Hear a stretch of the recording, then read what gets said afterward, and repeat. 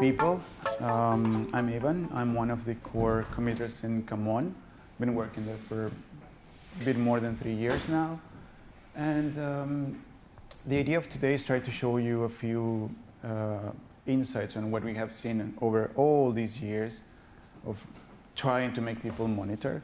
And I wanted to start with a simple conversation because this happens much more often than you can think it can happen. Oh, uh, like this? Better now? Can everybody hear? Yeah. Good. Awesome. So you find some people just like you do here. Hey guys, how you doing? How you? How, how's your work going? Oh, we just did this, this awesome project with Akka and Spray, Spark, any number of shiny new frameworks and tools.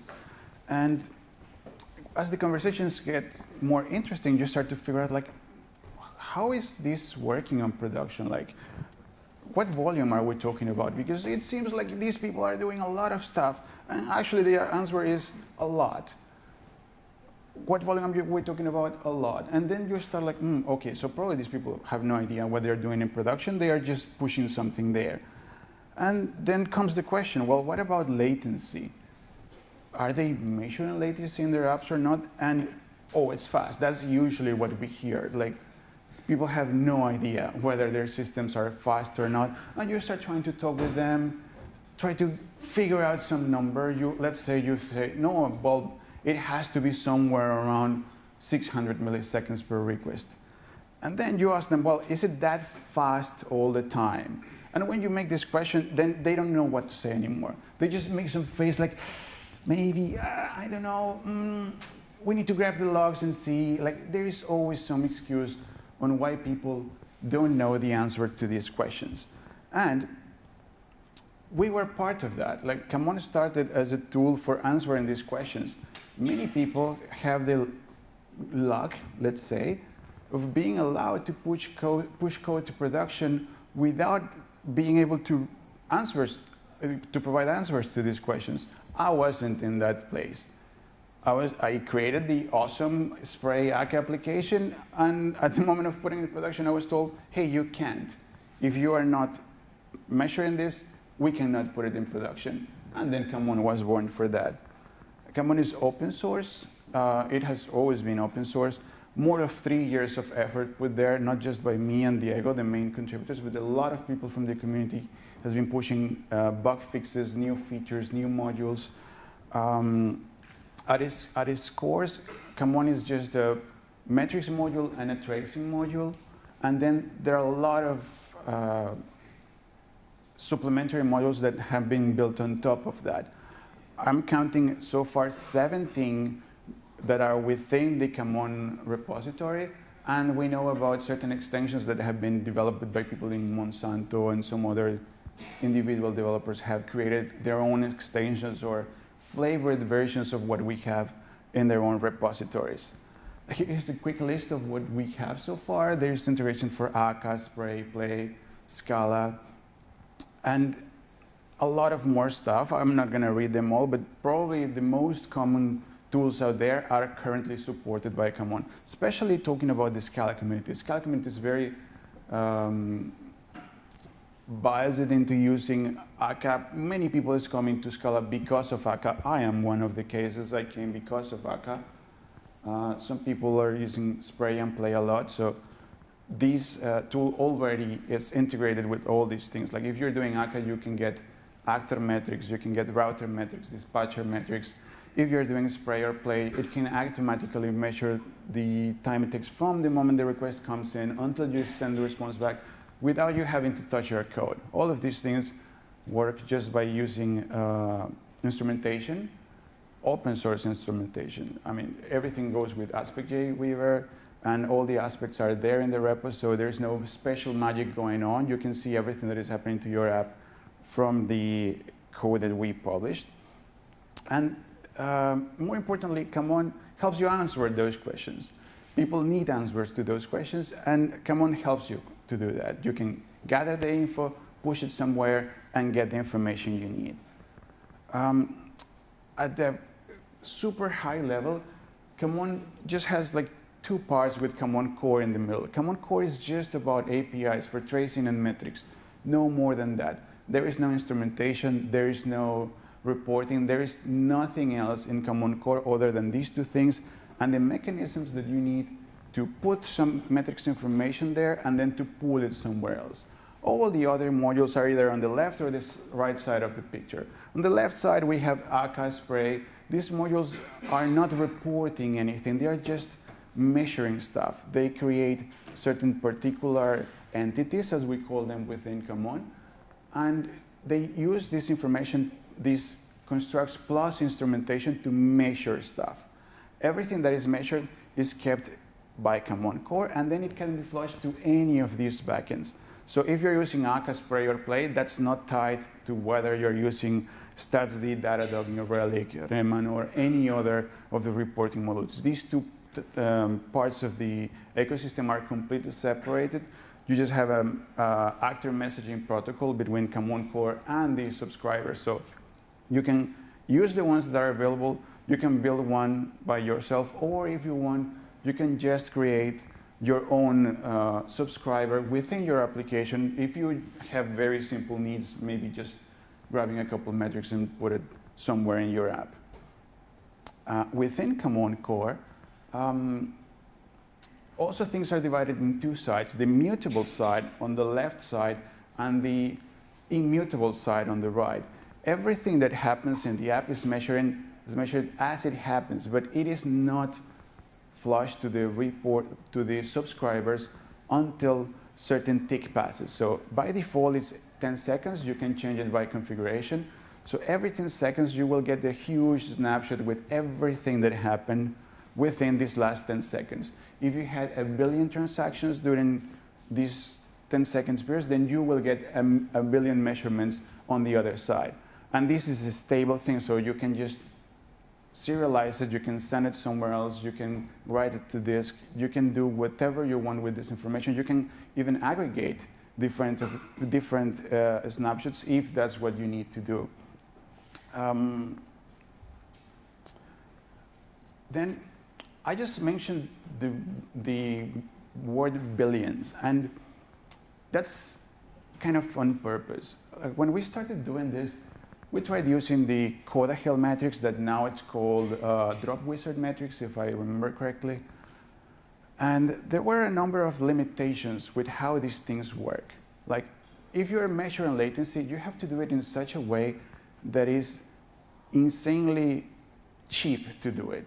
If keeping track of your latency is more expensive than some of the parts of the job that you're doing, then you're adding to the latency instead of just measuring. We needed something that was really cheap in terms of memory and uh, um, measuring um, recording code path. And we only could find we only found that with the HDR histogram. This HDR histogram that we're using internally was created by Gil Tene. It's also open source. You can find the source code in GitHub. Actually, there are implementations for other languages, not just Java you can use it in .NET, in Python. There's even a C++ version, and some more are coming. And it has the nice feature that once you set up one of these HDR histograms, you just say, OK, I want to cover from 0 to 1 hour with 1% um, precision. And it will automatically, cal automatically calculate what space do you need to cover this range with the precision you want? And you get one single chunk of memory to cover everything. When you want to record a measurement, you just have to calculate what index is a couple of bitwise operations. You calculate an index plus one there, and that's it. The recording of uh, measurements within the histogram is the same whether you're recording one, one billion, or one trillion uh, measurements. It's all the same. And then we're taking this data structure and we're compressing it to only uh, the parts where you have information. This is what gets flushed to all the subscribers on the other side of the, um, on the reporter's side of Kamon. Um, also, even though today we're going to focus more on the metrics part of Kamon, I wanted to mention that there is also this tracing part there that is giving a lot of benefits to a lot of people out there. One of the most important parts about the tracing module in Kamon and the way it is integrated with, let's say, Akka or Scala futures in, in some other cases is that we got to points where you needed to have some context and have this context to be propagated from the beginning of a request in your app until the end of the, the processing of this request. And in this previous world where you were using Tomcat and everything happens in a single thread, like you know, servlet-based applications, you're always in this situation where everything happens in the same thread and you can just use a thread local. For this monitoring stuff, you just put something there, the beginning of the transaction, you do everything, everything happens there. And at the end, you just take this thing out of the thread local and you have a way of connecting the beginning and the end of this transaction. But when you get into reactive systems and you're using Akka or you're using futures and you start mapping, flat mapping, or you're sending actor messages here and there, all of these smaller pieces of execution happen in different threads. And you have no control over that. And using a thread local is just nonsense. Like you can start something here and then the next message related to this very same request can be processed in a different thread. Like we see here, these arrows at the end, at the background of the graph are representing threads. So one single transaction can be happening a little bit here, a little bit there, a little bit over there. And the way we solve this issue was creating this, this thing that we call a trace context.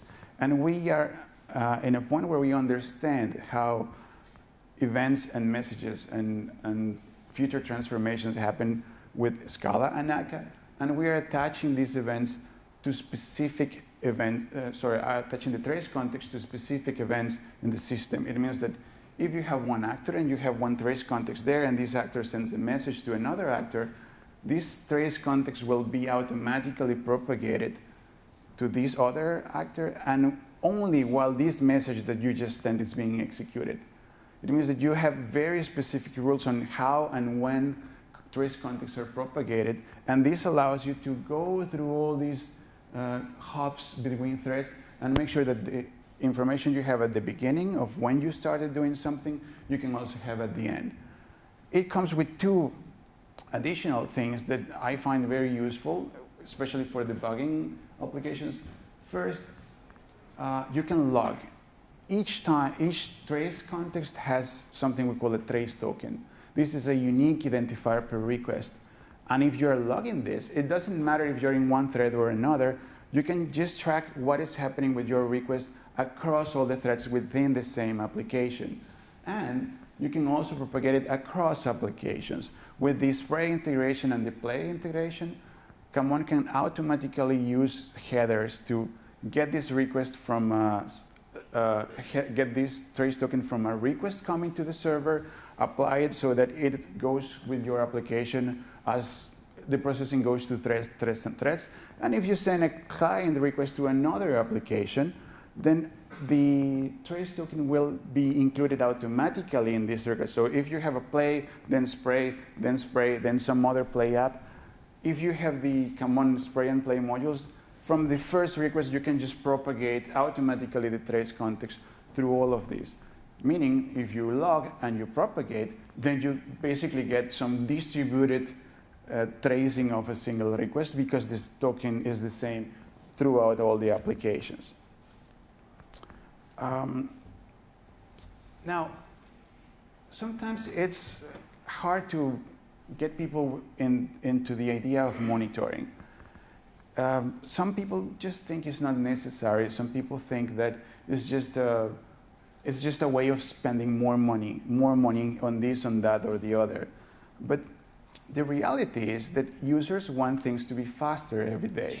I was trying to search for actual facts, and the internet is full of conceptions on what does it mean to be fast, what does it mean to be responsive, what users expect out there right now.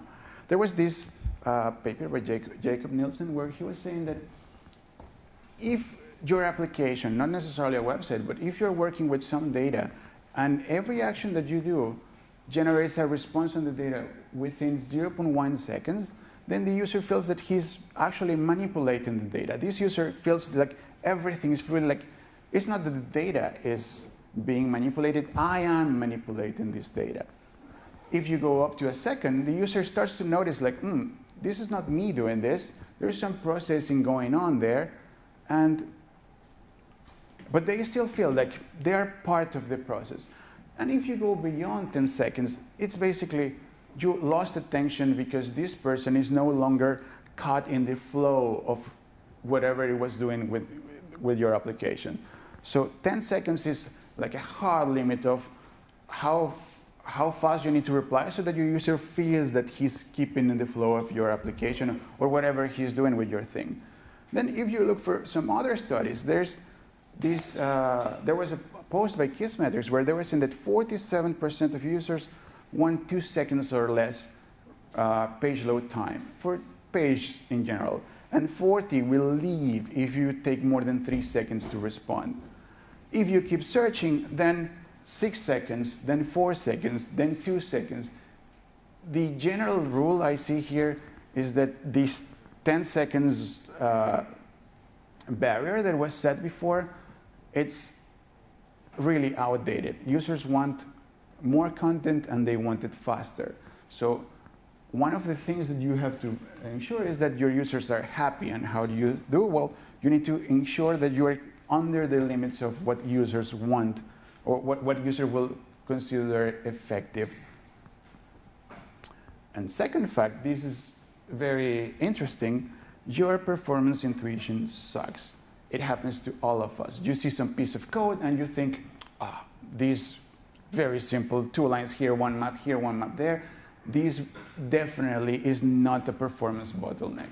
But then it turns out that there is some library there that is calling something on the back that turns out that, oh, but this was looping and going to the database. You don't know what is happening unless you measure. Every time I tell people, I'm sure that this has to be fast, or I'm sure that this has to be slower than that, I'm wrong. And I'm always trying to measure stuff. I'm wrong all the time. The only way of getting the right information is go measure, and then you can be sure that this is faster than that. If you upgraded something, make sure that after the upgrade, this thing is actually performing the same or different, or is it faster, is it slower? You cannot know until you measure. So if you want to get into monitoring, uh, actually the things that you need to do are not very complicated. I would say that there are very few advices that you can use to get some effective monitoring going on in your organization.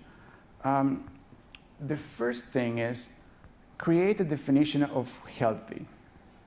If you're monitoring, let's say that you're already, oh yeah, you're so happy you got Kamon into your app and you're reporting to some of these backends that, that we are supporting and everything is good with that. So what next? Just sending metrics there means nothing. It just means that you're spending some money and some CPU cycles on doing this.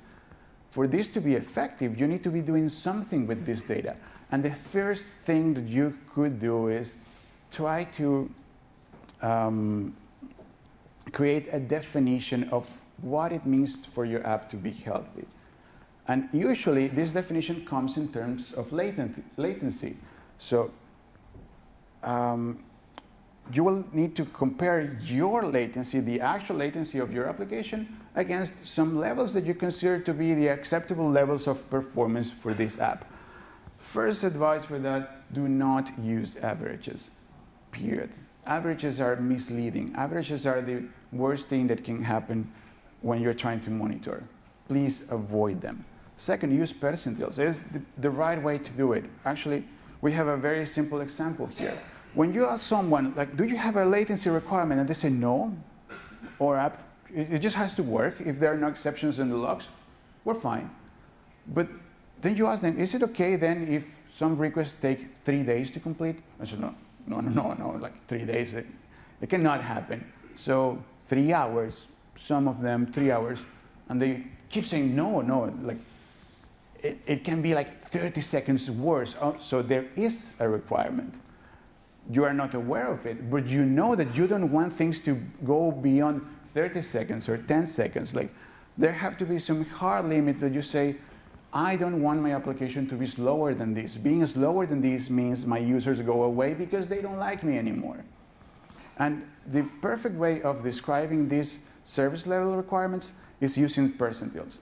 In this case, very simple example, if 95% of the requests should be less than 600 seconds, 99 less than 1.2, and everything else should be less than four seconds. That's a very reasonable um, service level uh, configuration.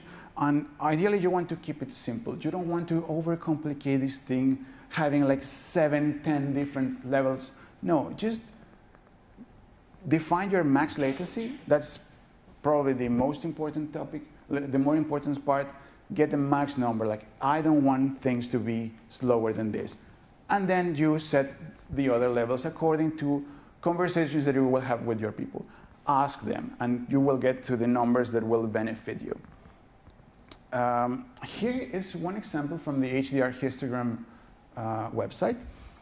There you can see that this blue line is representing the percentile distribution of latency across, um, sorry, the distribution of latency across all percentiles. And this yellow line represents just a service level.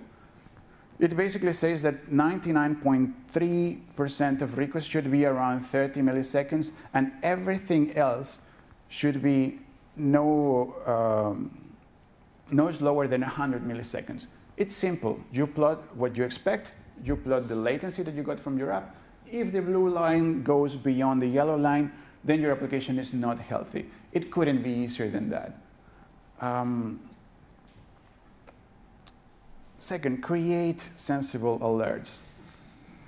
It's insane. It happened to me many times, when, especially when you have operation teams that are very disconnected from the developer teams.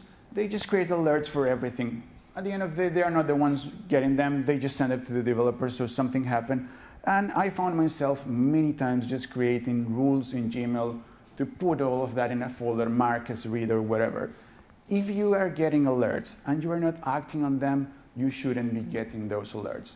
You should, like getting an alert should be like, oh, I have to do something. If you get certain alerts five, ten times and you didn't have to do anything about it, then that's a wrong alert. Review, why are you getting it? Fix the problem there is a problem, change the configuration, change the levels in case you need to tweak these things, and make sure that you only get alerts that matter. If you get uh, false positives, you're just going to get uh, bored of all these things. And when something really needs your attention, you will be just dismissing it because it's more of the same. Yeah, it's the same situation again. And you could be caught in the middle of fire without knowing that you are there. Uh, forget about averages. That's, uh, I started ranting about that. But I wanted to put this quote here from Gil Tene. Uh, average is a random number that falls somewhere between the maximum and half the median, most often used to ignore reality. And that couldn't be more true. When you are talking about averages, that's kind of illusion of the happy, the happy path, the happy uh, place where your users are. The truth is that if you go back here and you see this graph, in this particular um, display of information, what gets emphasized is the upper percentiles. These are the, the not so happy users. These are the ones who experience the worst latency of your app. These are the ones that you need to take care of. The ones that go where the average usually is, they are happy. They are the ones getting the best response times, and you don't need to do anything to make them happy anymore. But these guys here, these are the ones that you need to take care of. So forget about averages is just useless. Uh, another piece of advice is be aware of what gets summarized. Some people don't seem to be aware of the fact that most of the platforms out there related to metrics, they are just getting summaries for each period of time. So if you're reporting metrics every 10 seconds or every minute, then they have, let's say, 95 percentile for the one minute period, and then 95 percentile for the next minute period. And all of that is good if you're just looking at this graph. But then if you need to roll up this data because you're zooming out and you're looking at a, long, at a bigger period, or you need to get, I want to get what is the 95 percentile of the last 30 minutes because I want to create an alert based on that. Well, it turns out that information to provide the proper 95 percentile for that period of time is not available because they are not storing the raw data. They're only storing the summaries. And then they end up averaging summaries. So whatever you get there is a lie. Whatever number you get from averaging some summaries is a lie. The only things that you can actually summarize are the max and the mean. And if you have some information, you could also summarize the average, but averages are useless, so it just doesn't make sense. Um, also, refine what's being measured. This is very important because sometimes people just want to measure everything. You just get there and let's put probes here, here, and there, but maybe you just don't need it. Maybe you only care about certain parts of the application. These are the parts where you, maybe you're giving SLA to your customers. These, there are always parts that are more important than other parts in the app. And if you really don't care about some other parts, just don't measure it. The idea of getting some good monitoring in place is to make it bring value to you. And if you're spending time maintaining code that is measuring something that is never used or that you just don't care about, just leave it on the side. Also, add dimensions to your metric.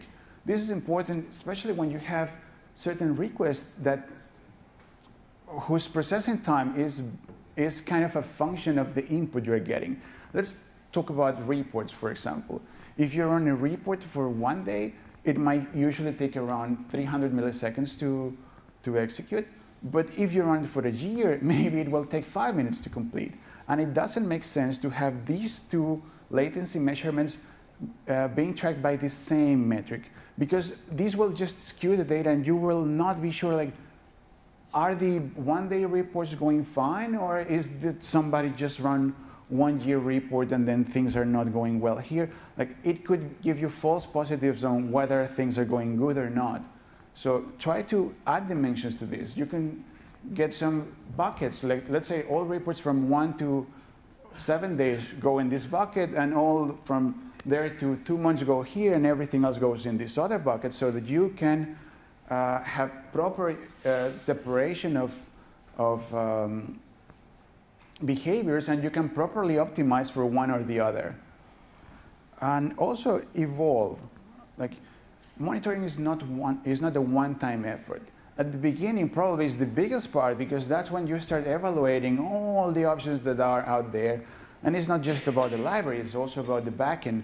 Are you building your own thing? Are you creating something based on top of StatsD and Graphite and all these things, or will you pay for a service? All this part at the beginning usually is the biggest amount of effort you will have to put on this, but then after that, you need to keep evolving in this. You will add functionality to your application. As your application is in production, you will realize that certain things are more important or certain things, like every time we have failures or we have spikes in latency, there seems to be something in this component here that is not working well. So you could go there and be a bit more specific about what you're measuring so that next time you have a problem, you have more insight on what is happening in this part of the code.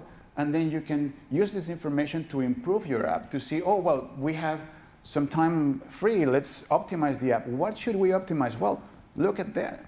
This is the place where the performance bottlenecks are coming from. Let's attack that part of the problem, not just randomly thinking what other library with the React reactive keyword you're going to put in the app.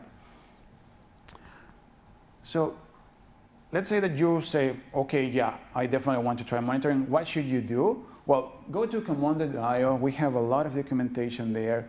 There are links for the GitHub repository where you can see all the information, uh, all the code, everything is there. A lot of issues. If you feel like collaborating with the project and you want to close some issues or help improve Kamon, please feel free to do it.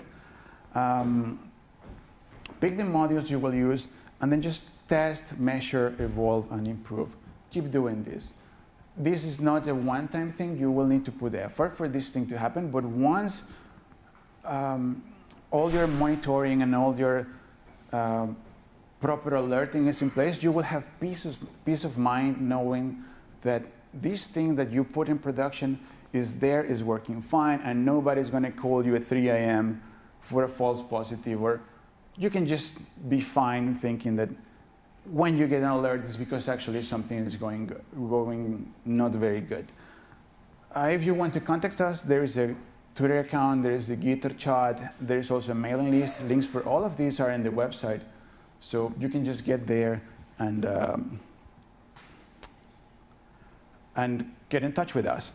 And um, shameless plug, we got tired of all these problems with backends and places where we can put metrics for. Because I talked about all these cool things that you should do with metrics, but the reality is that some backends support storing all the histograms as raw data, but maybe they don't have alerting. Or maybe some of them have, have alerting and accept, allow you to do certain custom dashboards, but when you get there, then you don't have the raw data for doing proper aggregation. So there is always a mismatch between what we think uh, an ideal monitoring system should be like and what we get from what is out there. So we decided to create a new project called Kamino um, that hopefully will bring new monitoring tools that basically cover everything that I just talked about. We want to have proper latency measurements, proper latency related alerts, and make it available for everyone to use. There's obviously going to be a um, free users layer for everyone because it wouldn't make sense to just close this. So please, if you are interested, go to Kamino.io. We're going to start a private beta really soon. So get there, subscribe to get an invite, and we'll see how it goes. Thanks a lot for coming. And if you have any questions, please uh, raise your hand and let me know.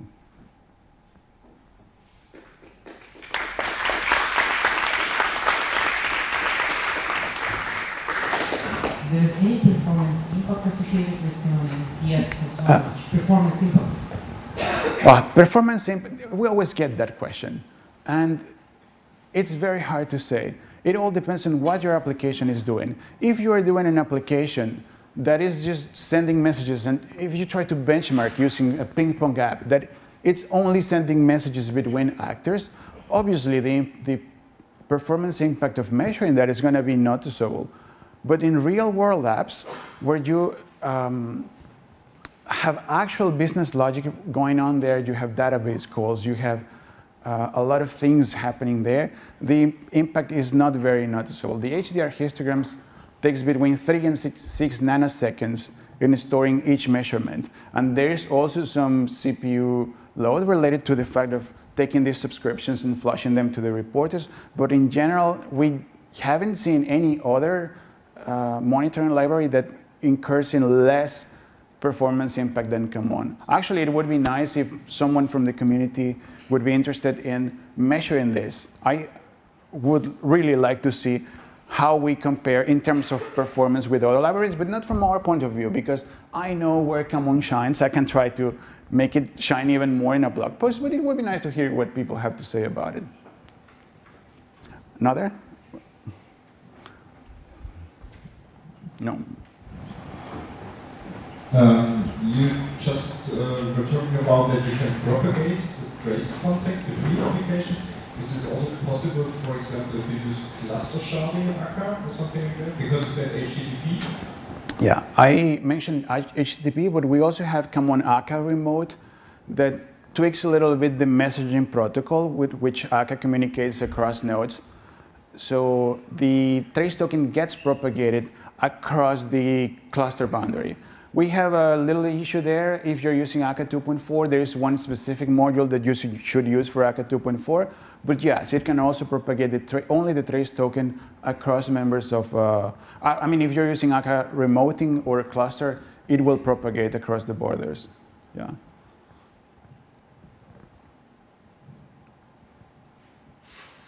There's one here. one here also. Like on average, how many like uh, On average. Mm, mm, mm. like how many companies actually do this kind of metrics and monitoring?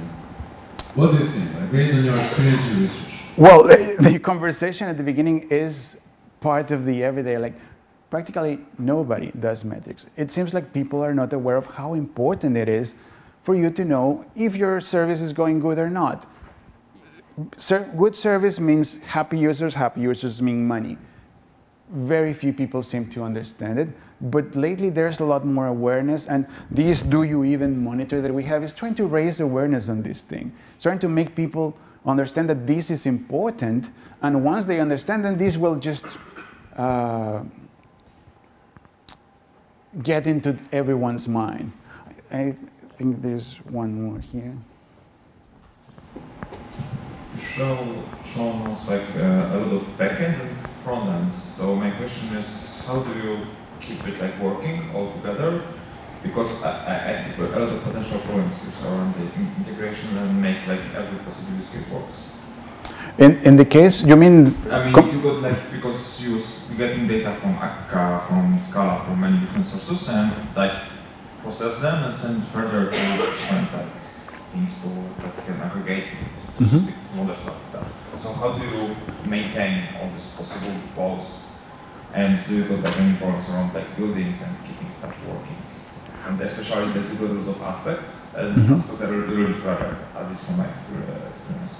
Yeah, working with aspects is a bit um, special, let's say, but it was the only way of doing it. We tried to avoid it since the very beginning, not do aspects at all, but there was no way of making it easy to include in new applications without you having to touch all your code. And then using AspectJ turned out to be a very good decision to make it easy and to make it easier to evolve. Because if you change the aspect, that's my problem. If I change a public API that I'm providing to users, then my problem becomes everyone's problems. So it was nice to do there.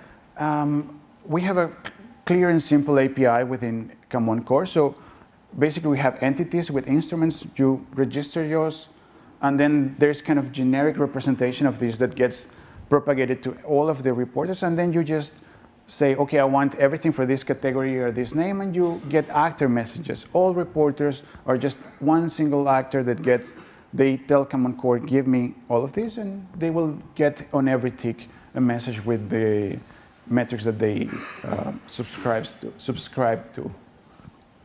Good. Uh, there was another here, I think. Again, look, let's say that uh, I can now convince my manager that is monitoring this week. Mhm. His next question would be how much would this cost? How much effort we have to put in order to put this monitoring in place? So Well- can you give a simple use case? It depends a lot on what you want to measure. If you're doing spray, if you're doing Akka, not Akka HTTP yet, um, you just plug in the module, you will start seeing how this will start measuring stuff, and then you just need to iterate a little to define what you really need to measure and which- what you should keep not what you should keep on the side. So if you read the documentation, I think that's the most important part, read and understand what is going on. You go there, you read, and then in one day you could have something going. The most complicated part usually is defining what is, where are you going to report this data, because usually that decision means that you need a budget for that, or you need some infrastructure if you're going to use the open source tool- tools that are available. So that's the most complicated part, but start measuring is not that hard. So two questions.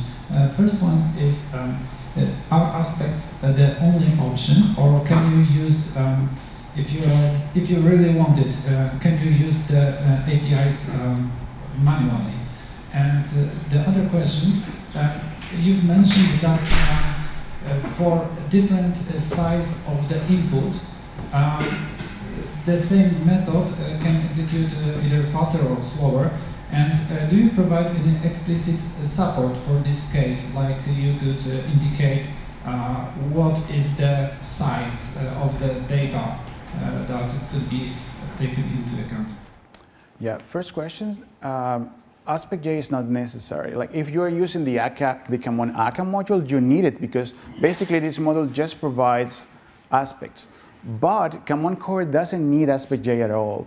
You can just, if you are okay with grabbing some parts of your code with measuring logic, you can just use Kamon Core without aspects at all, and everything you measure there can be reported to any of the backends. And for the second question, uh, we have support for tags. All these entities have a category. In case of Akka, for example, Akka actor, a name that is the path of the actor. And you can also have tags. And tags can add this additional dimension on, on something that makes sense for your business logic. Also, this, you probably would want to use it when you're measuring traces if you're doing play or spray. But there is support for that, and you will need to decide what makes more sense for you. Okay, so sorry, question. Uh, I have a microphone. Uh, so, uh, have you considered using macros? No, no, no, no, no.